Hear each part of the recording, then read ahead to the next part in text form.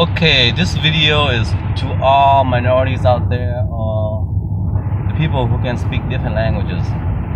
Basically, this is my secret. I've learned after being here in America for 37 years that you must always have a home-based business, okay? You must have a side business like, you know, how people have a side woman or side man, right? You have the main thing and then you have a side.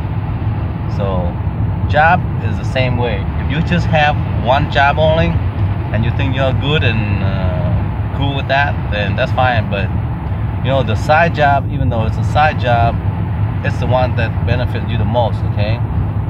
And if you're a minority and you speak another language like me, I'm Vietnamese and I speak Vietnamese, so I have a side business which is interpreting and translating, right? Interpretation and translation.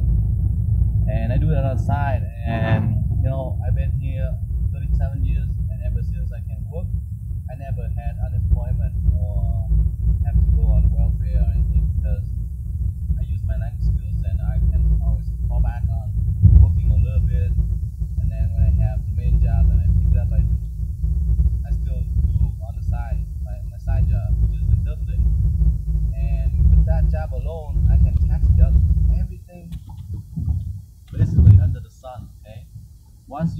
you have a side business, you will find a way. You think there's not many deductions out there, but basically you can deduct a lot.